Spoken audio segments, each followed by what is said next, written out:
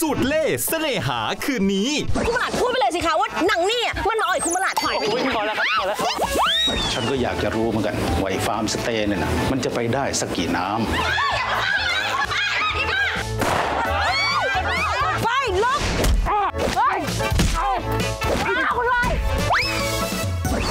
วัดที่พี่จอยให้หน่อยสิ ที่คุณวายเขากลับมารอบนี้เขาจะมาสารภาพรักเองวะ